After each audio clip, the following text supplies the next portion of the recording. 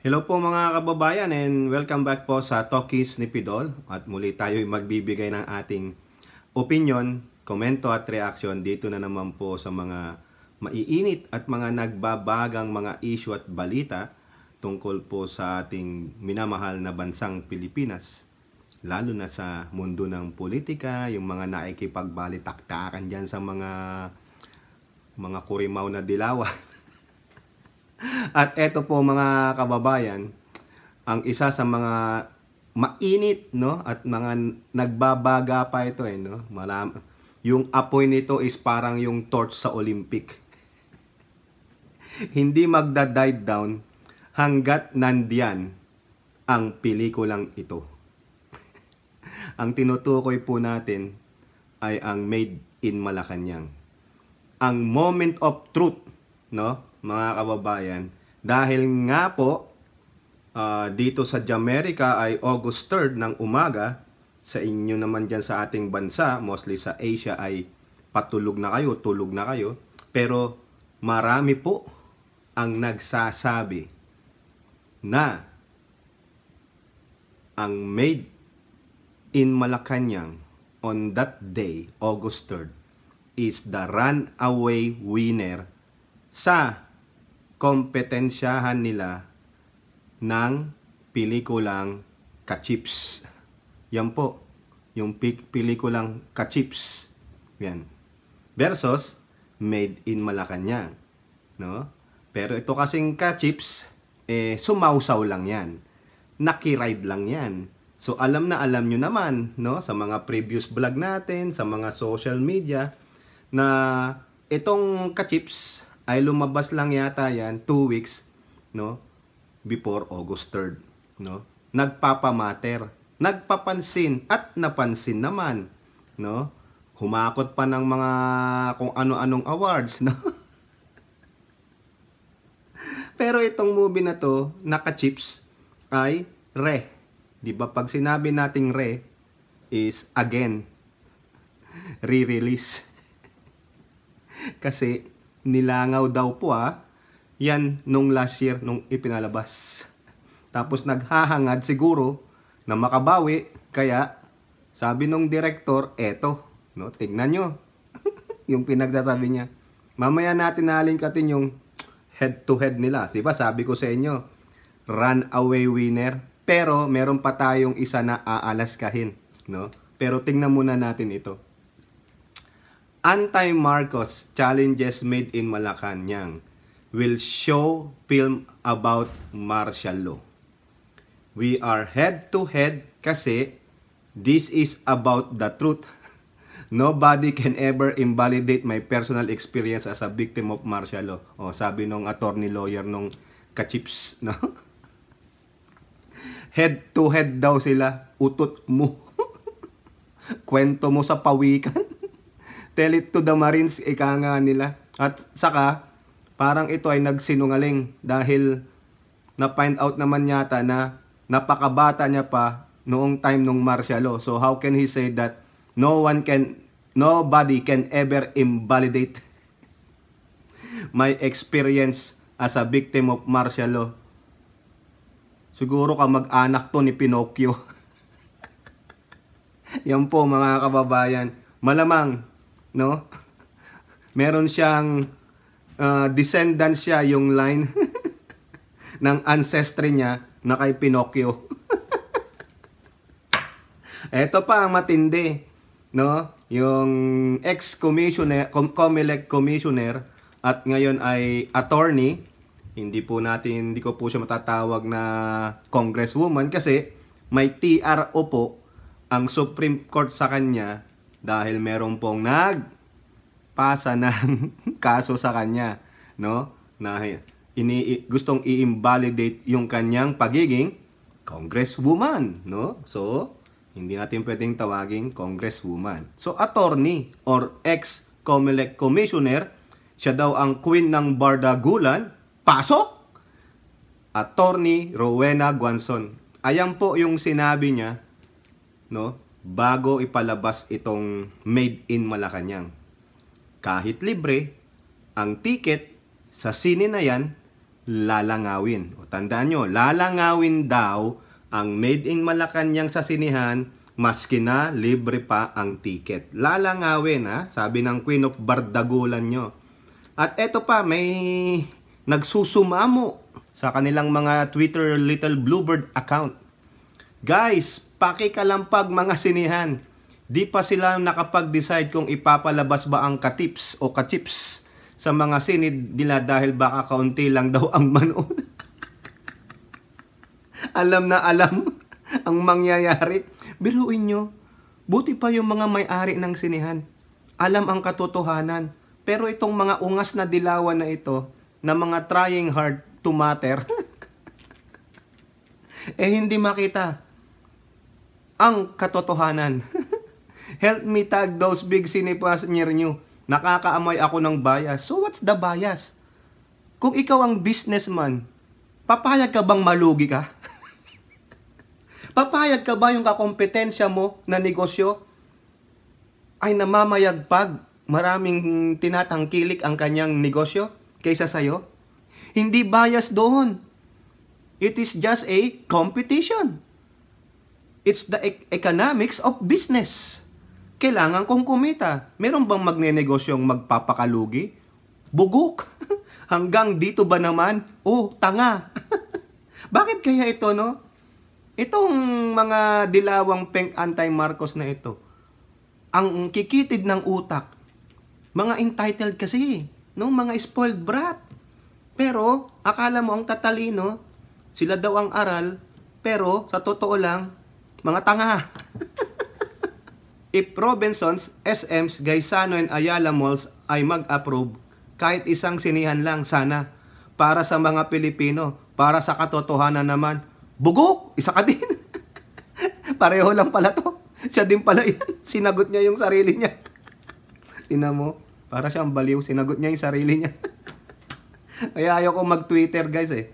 Hindi ko talaga, hindi ako patok diyan sa Twitter kasi uh, hindi man ako entitled. hindi rin naman makitid ang utak ko. Saka hindi naman po ako little bird. Di po ba? Ah, para daw sa katotohanan. Eh kung gusto mong makita ang katotohanan, panoorin mo yung Made at Makalakanyang para at least kompleto ang ikikwento mo. O di ba? Mapagtanto mo, ah ito pala yung buhay din nila. O at least hindi ka na bias. O di ba? O para daw sa mga Pilipino, utot mo. Kilala mo lang ang Pilipino, yung mga nasa laylayan, yung mga tinatawag nyong squatter pag may kailangan kayo. Pero pag wala na kayong kailangan, chupi chupi chupi, ang babaho nyo. Hugas kamay, alcohol, lotion. Ha, di ba? Mga inutil. No? Okay, balikan natin yung kay Guanson. Sabi niya, lalangawin daw sa sinihan. Ito po, mga kababayan, ang aking nakalap sa aking social media. sa mga nag-post po nito, no, yung nagpakita po ng solidarity para patunayan na hindi nilangaw ang Medang Malacanang, tignan nyo po yung mga larawan na yan. Shout out po sa lahat ng nag-post. Hindi ko po kayo mabanggit sa uh, I cannot ano eh, mention just few of them no yung Viva Films yung 31M movement yung ABL diyan sa mga FB page mga uh, personal FB page nyo na na-post ninyo. Salamat po sa inyo. Shout out po lahat sa inyo. Uh, credit lahat ito sa inyo. Hindi ko po inaangkin yan. Sa inyo po lang lahat. Gusto lang po nating ipakita lalo na dito sa mga makikitid na utak ng mga dilawan na sinasabang dinidistort ang history, na sinasabing bababuyin ang history, na sinasabi ni Attorney Rowena Guanzon na lalangawin lamang yan sa sinihan at sinasabi ng ibang mga ugok, mga bugok na dilawang etat na bias daw ang mga sinihan dahil hindi papalabas ang kanilang moving ka-chips. Eto po, tingnan nyo po yan, yung larawan na yan. Oh. Pinagtabi. Oh, may di Malacanang, ang daming pila. Oh, the same sinihan, katips, walang pila. So, ibig sabihin, hindi bias. Pinagbigyan kayo. Para sabi nyo sa Pilipino. Pero ang gusto ng Pilipino ay makapanood ng may substance. May bagong ipapakita. May bagong istorya. Okay? Ito pa po, credit lahat ito sa inyo ha, mga kababayan na kung sino man po kayo, kudos po sa inyo, palakpakan po sa inyo, no? Hindi po po to para sa ekonomiya, para po sa katotohanan na ang sinasabi ni Attorney Rowena Guanzo noon na lalangawin sa sinihan ang Made in Malacanang, maski na libre pa ang ticket, tignan nyo ang larawan na yan ulit. Ang ano ang sabi ng teller? O maybe she's at the manager? Sold out. Made in Malacanang. Hindi gawa-gawa yan, mga kababayan. Sold out. Diba? O, ayan o. Mga larawan sa SN Cinemas. Tingnan nyo po. Diba? Sinong lalangawin? Sinong magsasabing walang pila ang Made in Malacanang? Ayan po ang resibo ng mga nanood ng Made in Malacanang. Ayan po ang resibo na gusto ng mga tao na makita ang other side of the coin na hindi naman idinidistort ang history. Di sana itong mga nakapanood na ito, na ilang libo, daang libo, ay nagsabi na sa mga Twitter account nila, sa Instagram account nila, sa TikTok account nila, sa Facebook account nila, sa WhatsApp account nila, na totoo nga sinasabi ng kabilang grupo, it is a distortion. Isang paninira. Pero hindi po eh. Wala po akong nakita na mga messages except sa mga dilaw. No? Ano ang pinapakita nila? Na punong-puno daw sila. Pero pawang ninakaw lamang yung mga larawan. Di po ba, mga kababayan? Kasi basag na basag po ang naratiba nila, ang pagsisinungaling nila na ayaw nating malaman ang iba pang istorya, no? Bakit naganap ang itong pangyayari? Tulad ng ano, pagkakaroon ng CPP-MPA, pagdideklara ng martial law, uh, nagkaroon ng EDSA revolution. Ano ang nagaganap sa mga lugar na hindi naman natin nakita kung nasa nandoon ang mga role players ng history na yon? Ayaw nyo bang malaman? Ang Made in Malacanang ay sa kwento ng Marcos eh, sa pam- da- bakit? Ang Made in Malacanang ay may substance, may katotohanan. Bakit? Eh buhay pa ang mga Marcos eh. Sino lang bang yumao? Kundi ang Pangulong Ferdinand Edralin Marcos. Nandiyan pa si Madam Imelda, si Amy, si Bongbong, si Irene. O, di ba? Sila ang patunay. At nandiyan pa yung iba nilang kasama noon na nasa Malacanang na maaring na interview. Those are live accounts. O, paano nyo pasisinungalingan? Bakit nandun ba kayo? Kayong mga nagsasabing i-distort ang history? Kayo ba mismo ang nandoon sa loob ng Malacanang kasama nila? 'Di ba? Kung meron din kayong gustong ikwento tulad nung pabulaanan nyo yung nagmamadyong si Cory at ang mga madre, kung nandoon man kayo, pabulaanan nyo. Hindi ganyan na nangyari. Hindi po sila nagmadyong. Nagsolitaryo po sila. Nagpoker po sila. Nagpoker face po sila. Di ba ganon?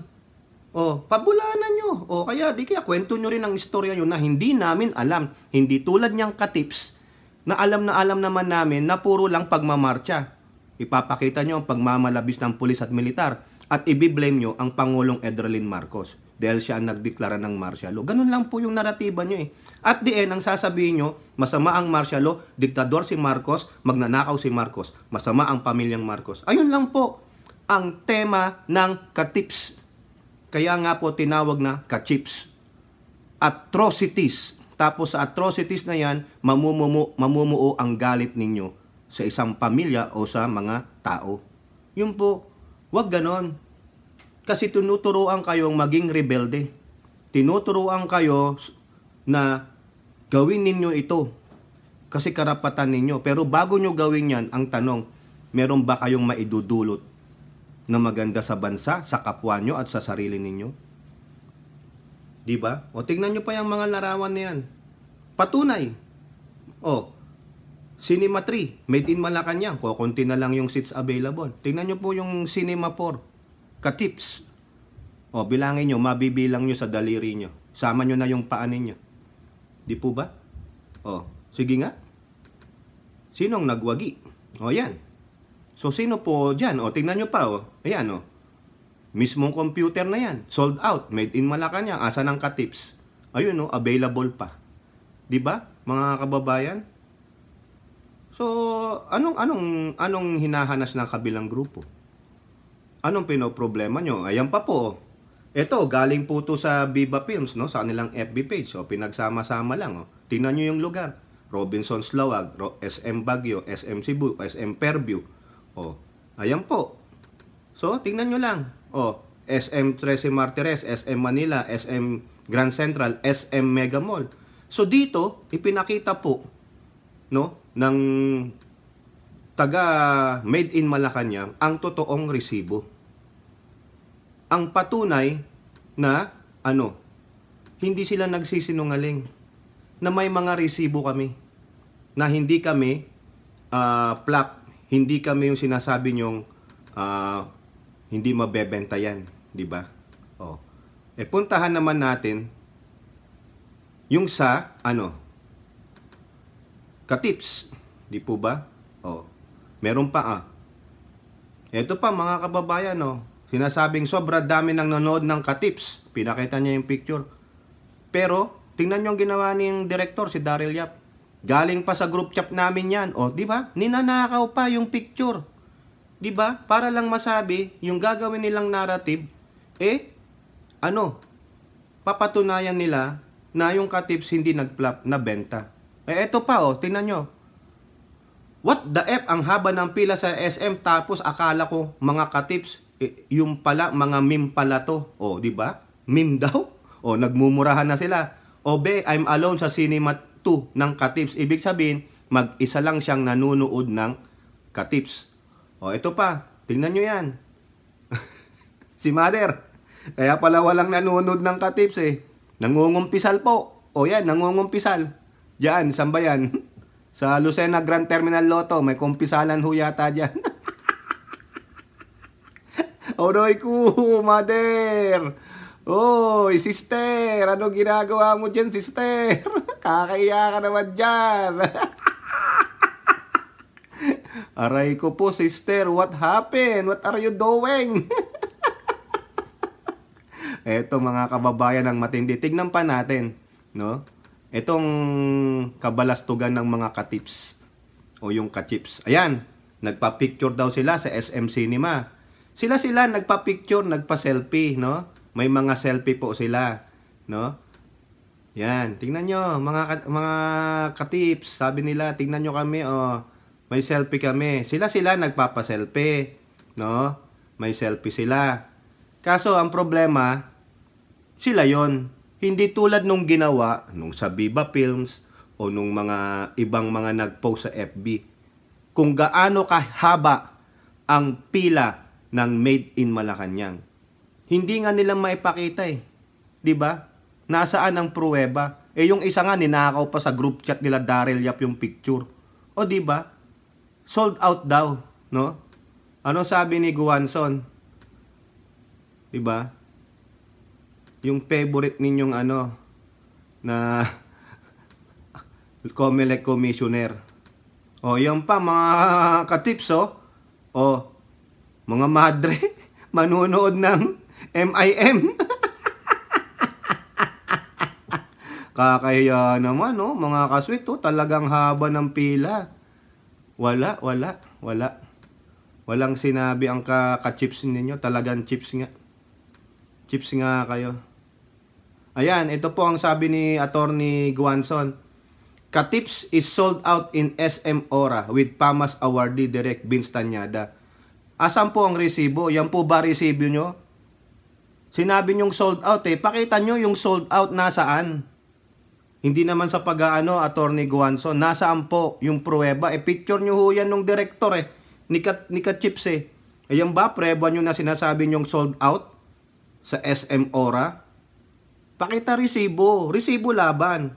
O ayan po, dito po yung kaninang picture na walang nakapila sa S, eh, sa sinihan, yung number titignan nyo po yan Credit po doon sa naglagay na oh. Yan, nilagyan na po no kasi nakakahiya naman eh. No? Baka daw po langawin, no? Baka langawin yung katips. 'Di ba? Pero meron talagang hindi na nakatiis ng kasinungalingan mga kababayan kasi tignan nyo pa to. Nag house to house daw sila. daw ah, satire po 'yan. Nag house to house na nga kayo Di ba? Oh. Eto ang matindi. Nag house to house na kayo, pero ito pa rin ang lumabas. Tingnan nyo po yung larawan na yan. Kudos sa'yo ha. Talagang magaling ka sa editing. Ayan po yung katips. Kung yung kanina, dinrawing lang yung mga skeleton para naman hindi langawin. Siguro nung umalis na yung mga skeleton dahil nalugi, yung mga langaw na sabi walang walang manonood oh. Sige, nagdala pa ng popcorn. Oy, nasaan yung soda nyo? Sa kanachos. uh, ano na mga ka-tips, no? Ano masasabi nyo? Kasi kayo, no, sumakay lang kayo sa popularidad. Walang nanood noon, nagplop noon, nilangaw ngayon, tapos sumakay kayo sa kasikatan ng Made in Malacanang, sinabi nyo, tatapatan nyo siya, tinapatan nyo nga siya, magkatapat kayong cinema, pero ang pumasok yan po. Talagang ang mga fans ninyo ay ayan. Sino po yan? Uh, mosquitos bangausreros. Ayan po yung scientific name. Mosquitos bangausreros. Nakatips. ah, nandyan po yung kumpara nila na si Kachips na Q-tips. Ilan po ba yan? Ilan po bang award ang nakuha nyo sa PAMAS? Pito o walo? Ah, pito. Ayun, may sumabit pang isa. at least, at least 8 million people in the house. Di po ba sa mga live stream? Pag pito, sampu lang. 10 million people in the house. Welcome. Shout out, shout out. Wala po bang magpapapasok mga ka-chips? Ang yayabang kasi ninyo. Tatapatan ninyo. No? Tapos, pabiktim pa kayo na sinisisi nyo ang mga sinihan, ang may-ari ng mga sinihan. Ayan, pinagbigyan kayo. Eh ano pa rin nangyari? Mosquitos bangaweros. Walang niya, oh. First day po yan, ha. Ang pinag-uusapan natin ay first day. So, the clear runaway winner is, ano? Ano? Made in Malacanang. Kasi meron din pong kinundak dito na survey, yung News 5 na sinasabi sa social media trend na lang pinag-uusapan ng maingay ay ang made in Malacanang. Meron po silang almost 1 billion no na mga trending sila. Eh ang katips 13% lang out of 100%. So meaning they were dominated ito lang ang iniisip ko na dahilan ng katips. Eh kasi naman, ang tagal nang pinromote yung Made in Malacanang eh. Eh kami ngayon lang eh. Noon pa kayong December, pinalabas nyo nga yan sa public. Eh kaso, ayaw ng publiko. Ayaw.